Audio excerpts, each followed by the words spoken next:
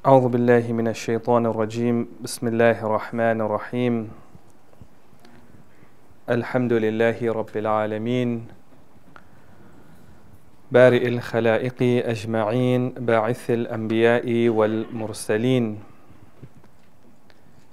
ثم الصلاة والسلام على أشرف الأنبياء والمرسلين سيدنا وحبيب قلوبنا أبي القاسم المصطفى محمد.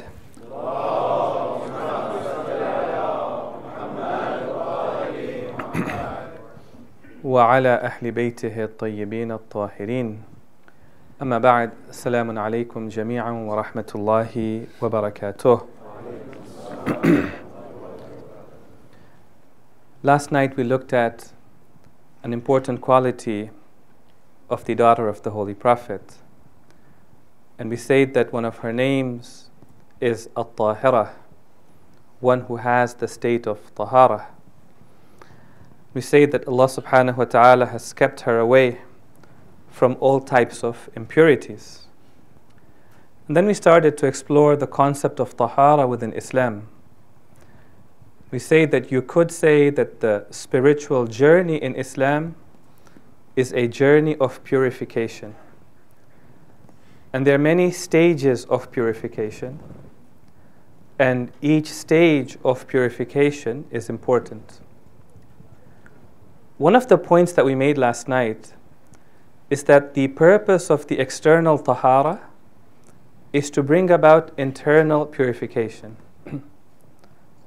we wash our bodies, we wash our clothes, we clean our surroundings so that somehow it inspires and motivates us to purify our hearts as well. And we say that the condition for this is a moment of reflection, a moment of contemplation. One of the best examples that we have of this is when Shibli goes for Hajj. And after he comes back from Hajj, the fourth Imam, Imam as-Sajjad, alayhi afdalu salati was salam,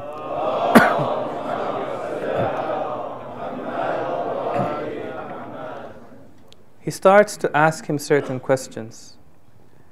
And he says, O Shibli, when you went for the miqat, did you make the intention that you are taking off the garment of disobedience and you're putting on the garment of obedience?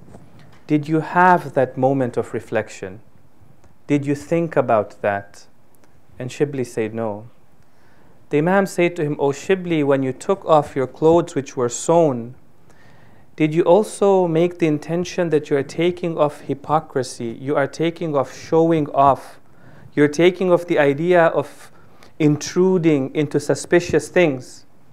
And Shibli said, No. Then the Imam says to him, O Shibli, when you performed your ghusl, did you contemplate even for a moment that you're washing away your sins and your acts of disobedience? And Shibli said, No. And the Imam said to him, Therefore, you didn't go to the miqat, you didn't take off your sewn clothes, and you did not perform the ghusl. So the condition is to engage in an act of reflection. now, this evening, I want to continue in a similar fashion. I want to talk about those things that we do in everyday life. Before you stand up for prayer, you make sure your clothes are pure, you make sure your body is pure. You purify your clothes, you purify your body as well. And I want to look at what are some acts of reflection that we can engage in to elevate those actions, to bring about spiritual purity. So, the Prophet of Allah tells us that when you stand up for the prayer, your clothes have to be tahir. And you have to make them tahir if they are not pure. And the Prophet of Allah also tells us that when you stand up for prayer, your clothes should be clean. They should not be dirty. The Prophet of Allah says in the hadith, Man ittakhadha thawban falyunadhifhu. In fact, anyone who takes a piece of clothing, then he should clean it. Okay?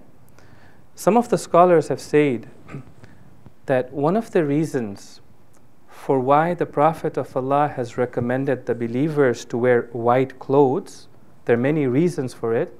One of the reasons why the Prophet of Allah has recommended that we wear white is because white clothes, when they become dirty, it becomes very obvious. Okay? It stands out. So that when it becomes dirty, you were to clean it.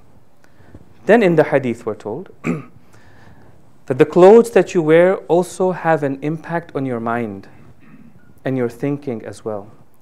The first Imam, Amirul Mu'mineen, alayhi afdalus salati was salam,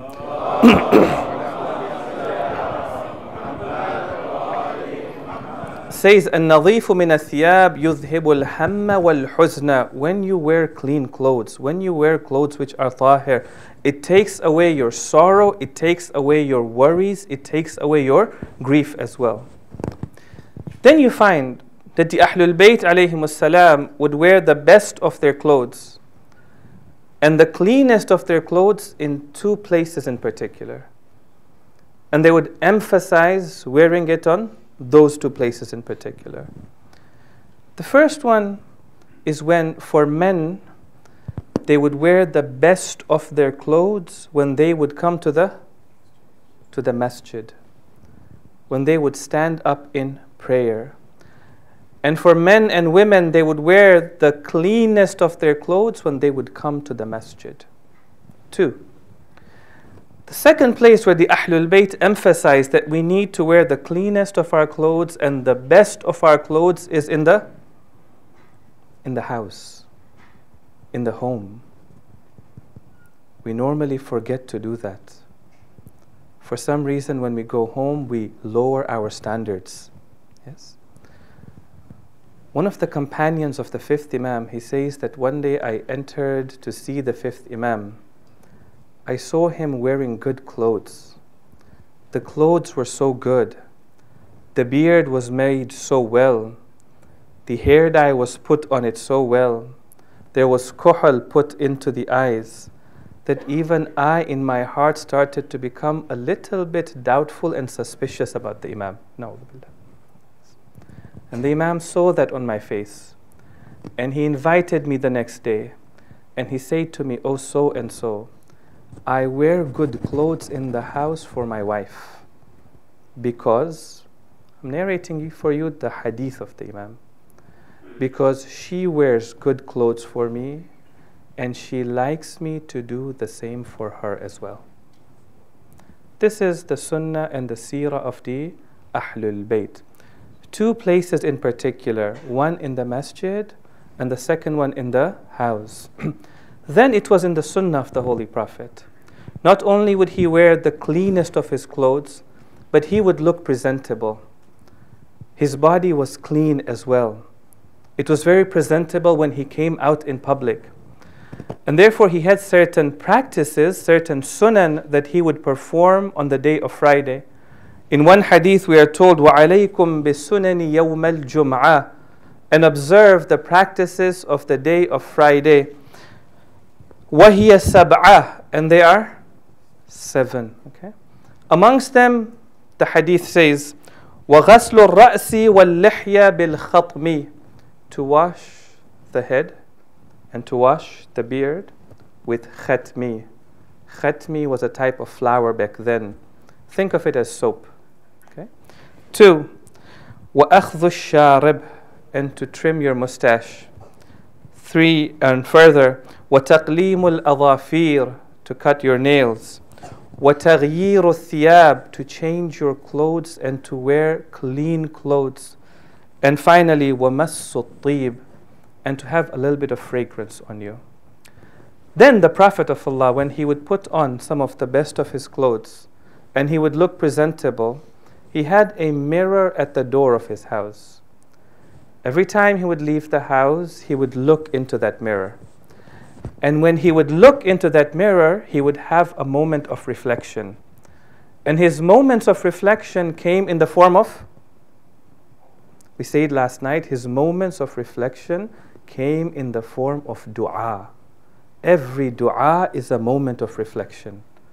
Every time an Imam tells you, recite this dua in this place, then you should know that there is something that the Imam wants you to think about when you are in that place, and you will find it in that dua.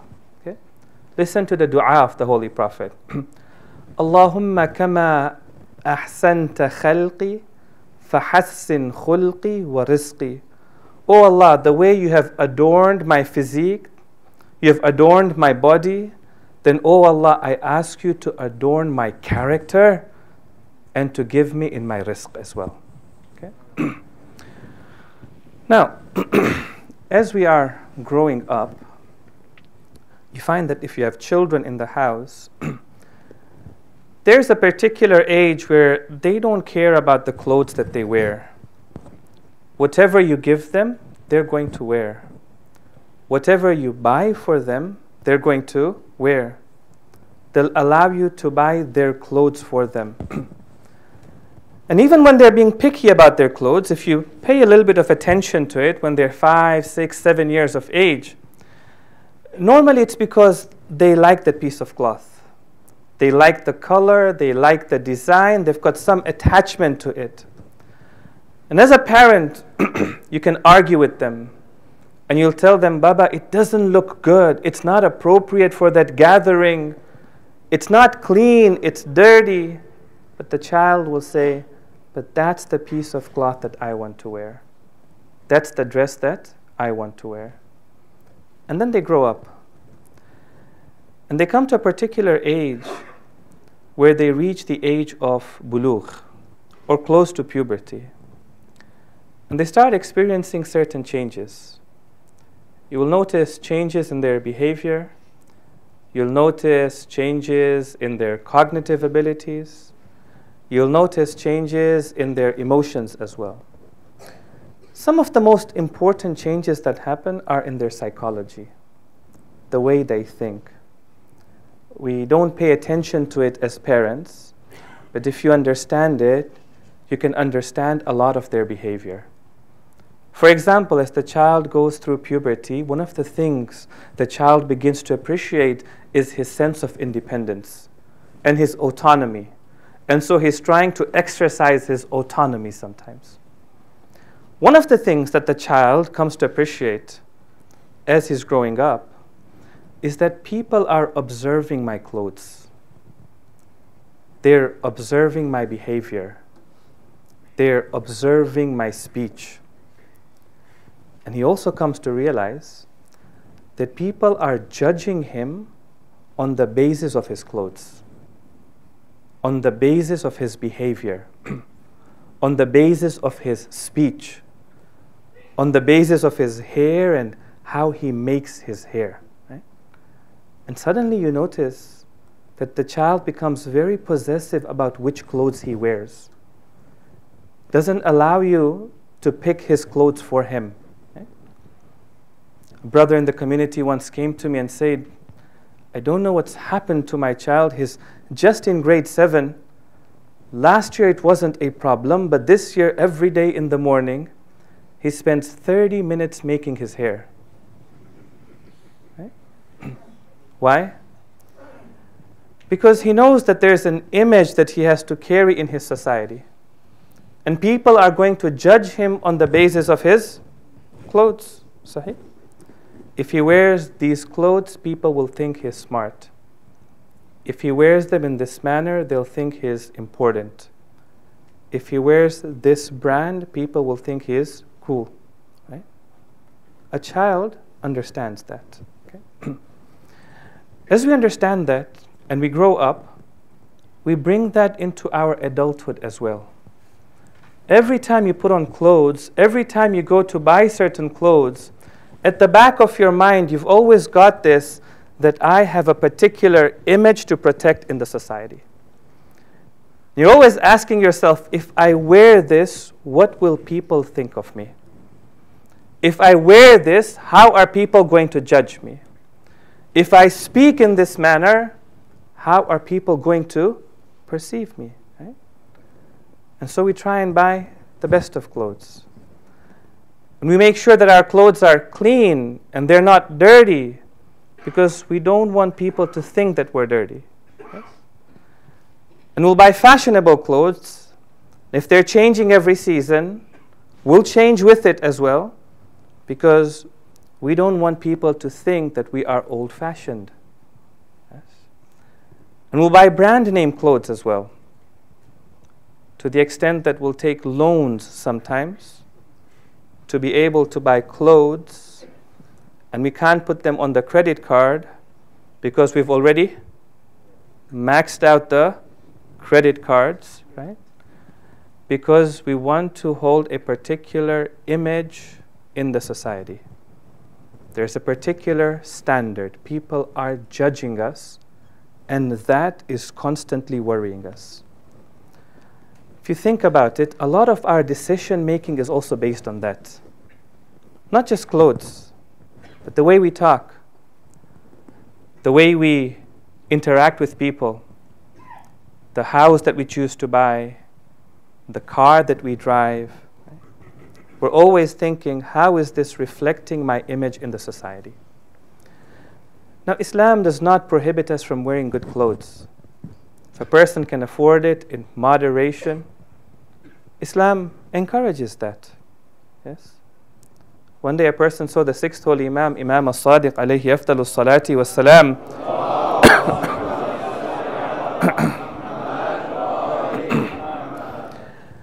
the Imam was wearing good clothes, presentable clothes. And he comes to the Imam and he says, I knew your father and I also knew your grandfather. And I was looking for the successor to your father. And they told me it was you. But when I see you wearing these clothes, astaghfirullah, you are not the right successor to your father. Na'udhu billah. The Imam responded to him, and listen to the response. The Imam says, Woe be unto you, man harrama zinatallahi allati akhraja li'ibadi wa tayyibati minar rizq. Who has made haram the beauty that, this is a verse of the Quran, who has made haram the beauty that God has brought forth for His servants and the wholesome rizq that He has provided them. If it is not meant for the believers, then for whom did God create this beauty?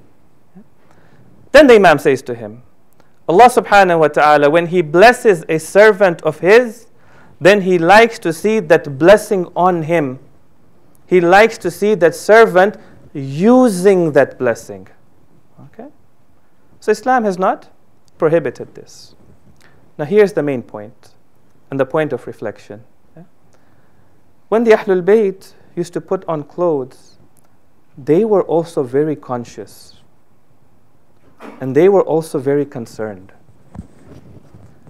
The second holy Imam one day had put on the best of his clothes it was the time for salat and he was going to the masjid. You'll find this hadith when you go in the Quran, there's a verse in the Quran where God says, Ya bani Adam, O children of Adam, خُذُوا زِينَتَكُمْ عِنْدَ كُلِّ masjid. Take your beauty and adornment to every place of prayer. When you look in the tafsir of that verse, you will find this particular hadith. The Imam was wearing the best of his clothes to the masjid.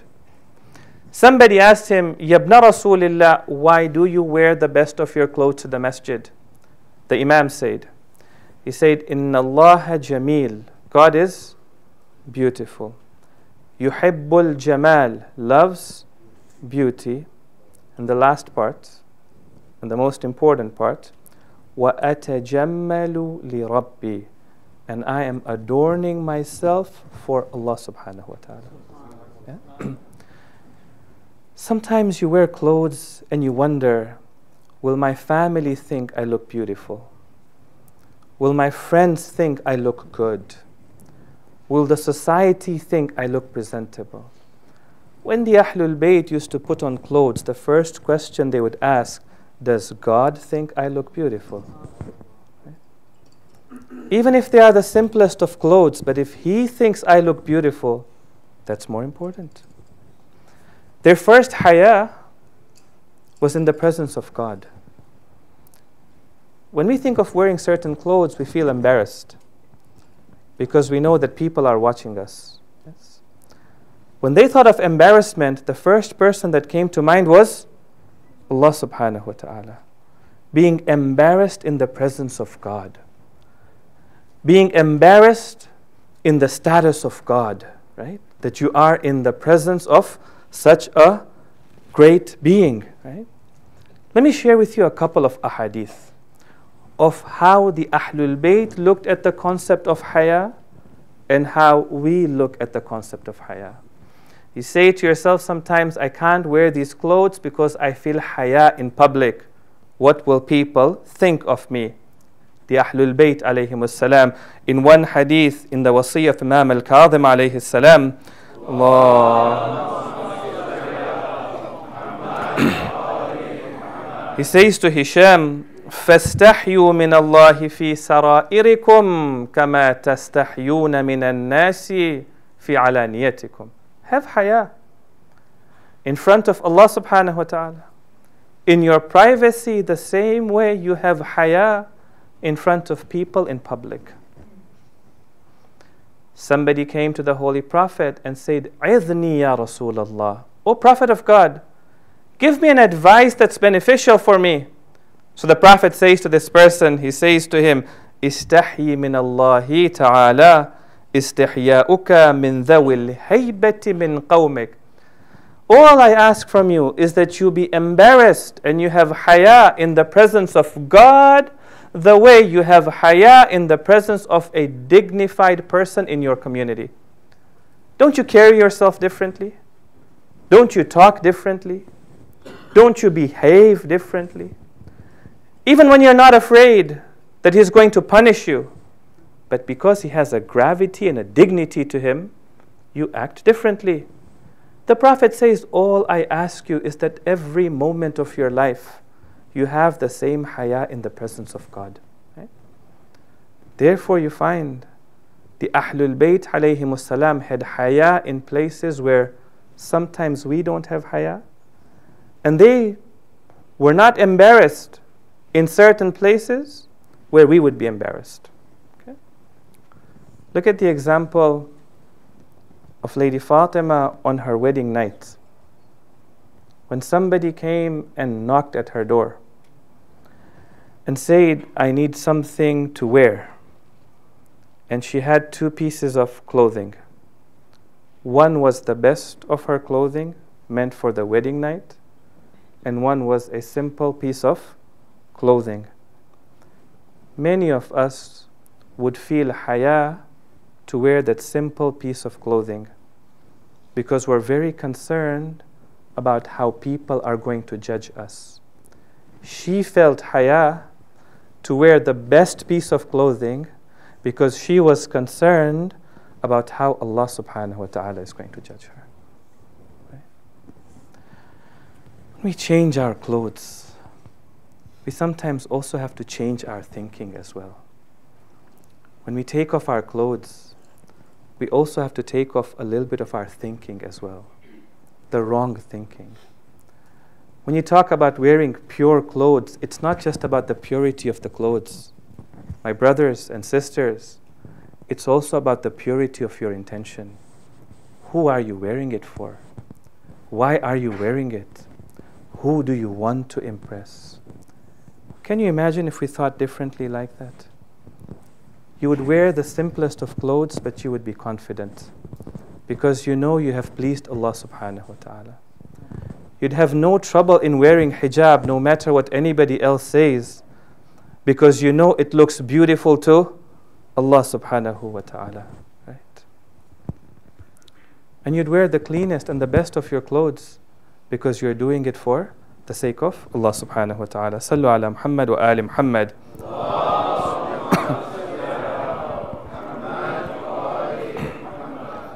the second part of the reflection is that when you stand up for salat, not only do you make your clothes tahir, you also make your body tahir as well.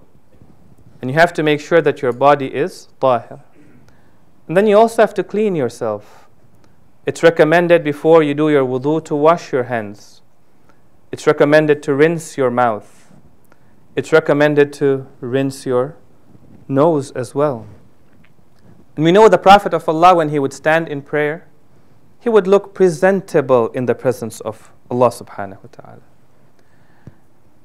Sometimes we clean our bodies for hygienic reasons. Sometimes we clean our bodies because it gives us a peace of mind. It gives us tranquility and calmness. Sometimes we clean our bodies because it looks presentable and doesn't give a foul smell.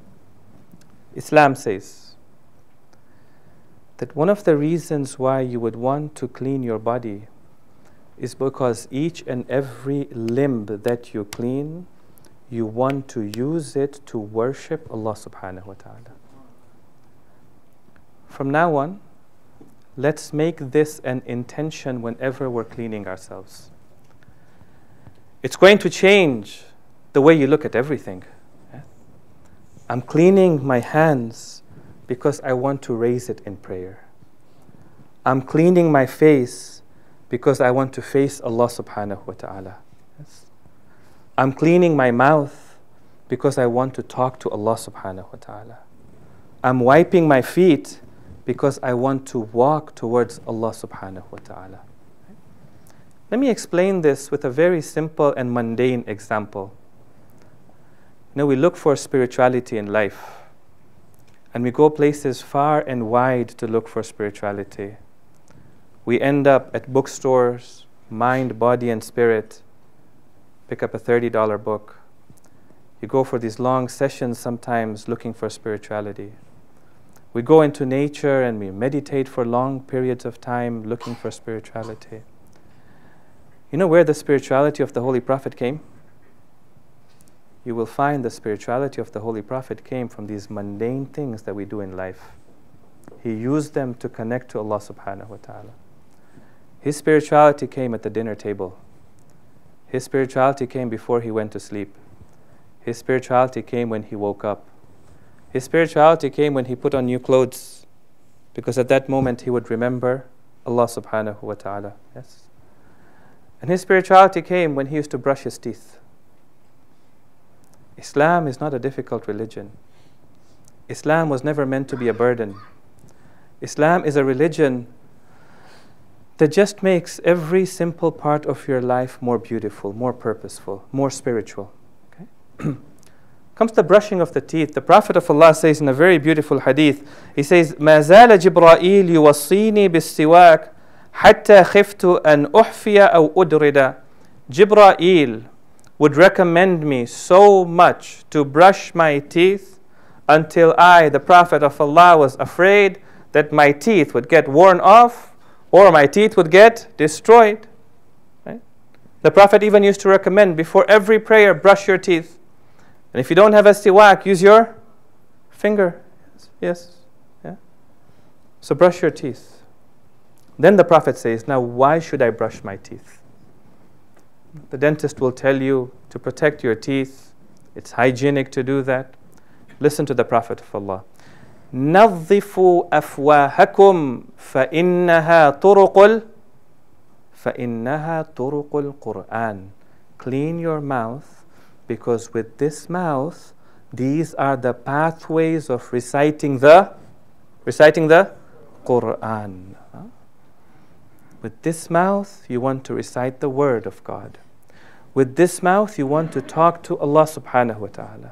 with this mouth you want to praise Allah subhanahu wa ta'ala in the salat, so clean it. Now, Ayatollah Javadi Amuli says, let's do a reflection together on this short hadith of the Prophet.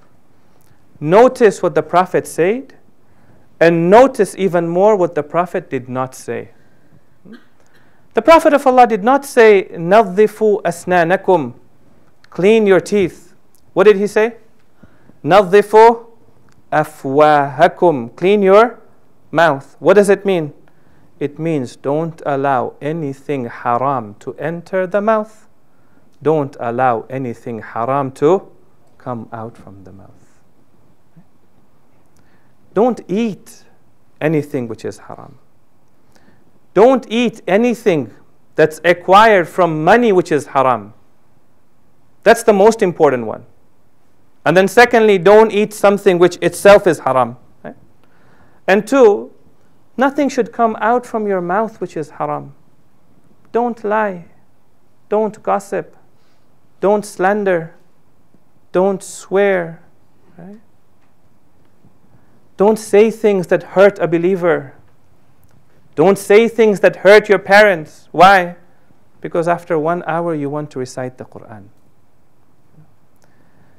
Prophet of Allah is teaching us that every limb of yours has a physical strength and it has a spiritual strength as well.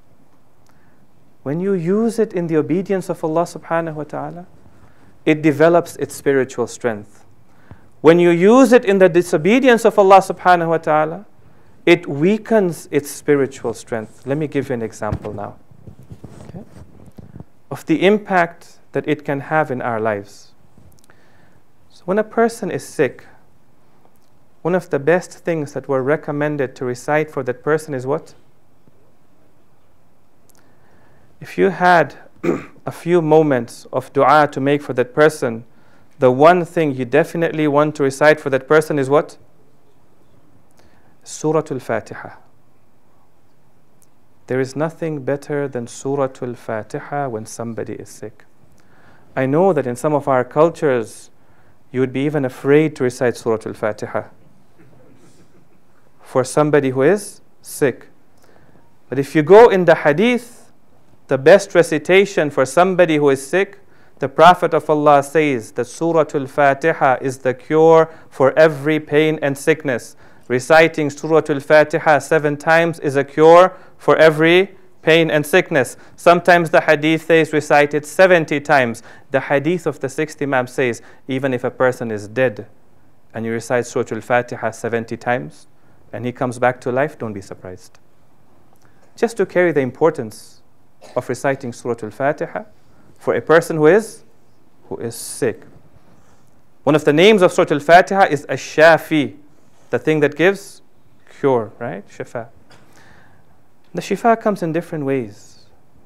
It's not always a miracle. Sometimes the medicine works for that person. Sometimes the doctor made a wrong prognosis or a wrong diagnosis. Now he's made the right diagnosis. Sometimes the doctor couldn't make a diagnosis. You recited Fatiha for him. The doctor is now able to make the diagnosis for this person.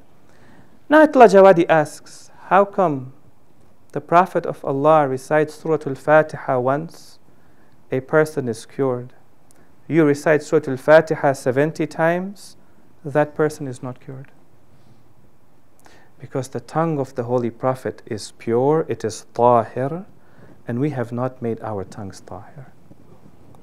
We have weakened the spiritual strength of our tongue. Okay? At some point in our lives, everybody has to make a decision. We have to make a decision on whether our limbs are going to be a tool of Rahman or they are going to be a tool of Shaitan. if you're going to dedicate your limb, your tongue, your ear, your eyes, your hands to Rahman, it will not enjoy doing the work of shaitan.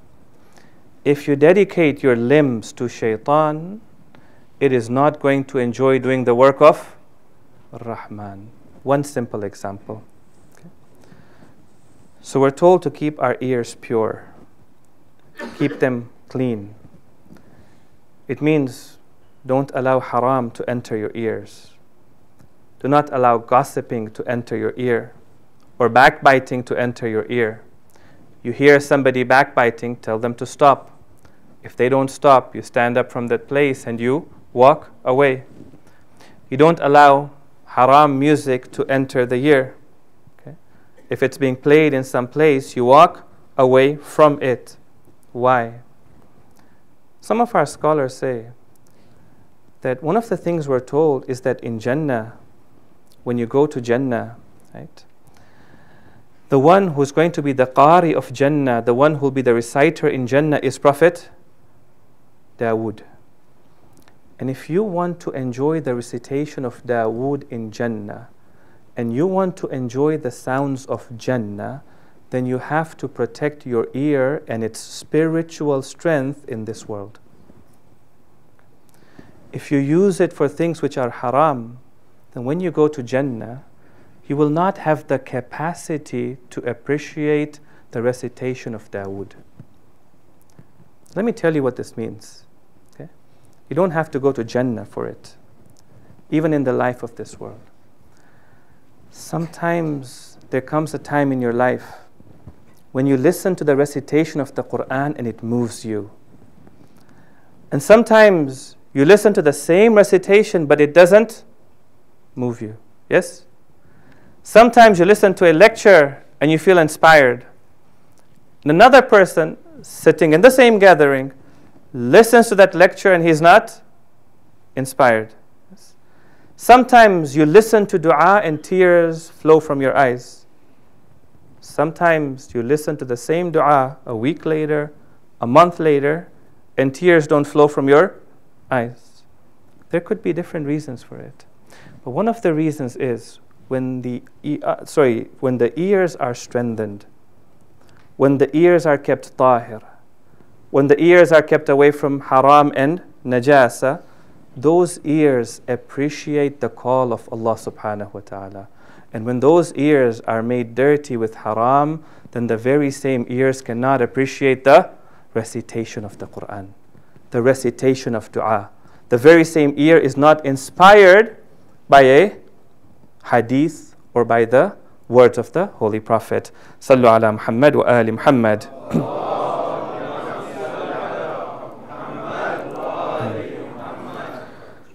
Let us take our hearts to the city of Medina and do tawassul to Allah subhanahu wa ta'ala for the sake of Lady Fatima. That may we find purity in our lives, purity in our hearts, purity in our limbs, through which we can derive iman and good akhlaq. Join me in calling out to Lady Fatima. يا فاطمة الزهراء يا بنت محمد أيتها البتول يا قرة عين الرسول يا سيدتنا ومولاتنا إنا توجهنا واستشفعنا وتوسلنا بك إلى الله وقدمناك بين يدي حاجاتنا. يا وجيهة عند الله اشفعي لنا one more time يا وجيه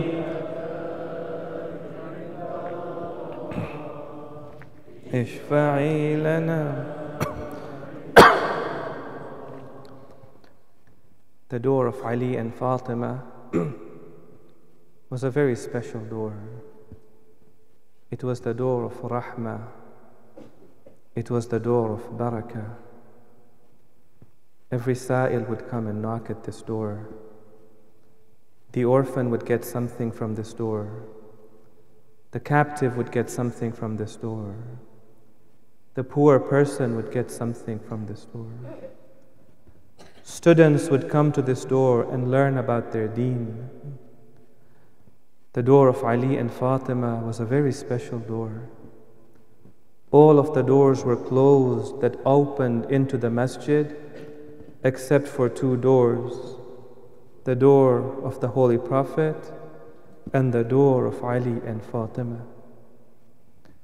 Even towards the end of the Prophet's life, the Prophet of Allah was in the house of Lady Fatima and he was lying on the bed and somebody would come and knock at the door and Lady Fatima would say to him that, oh, so and so, my father is sick.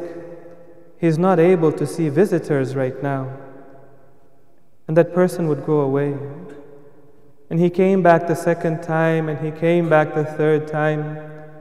When he came back the third time, the Prophet of Allah said to Lady Fatima, O Fatima, this person does not knock at any door. He never asks for permission to enter any house. But this is your house, O Fatima. This is the only house where he knocks and he asks permission to enter.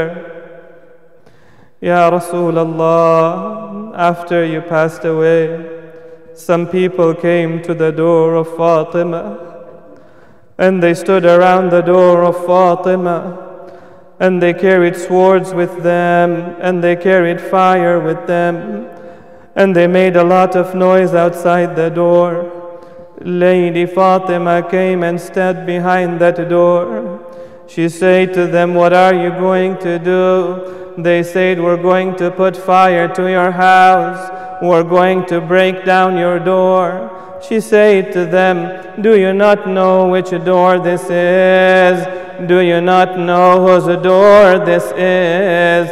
They say to her, We know whose door this is. She said to them, This is the door of Fatima. Fatima, the daughter of Rasulullah. They say to her, It doesn't matter whose door it is. We're going to put fire to it.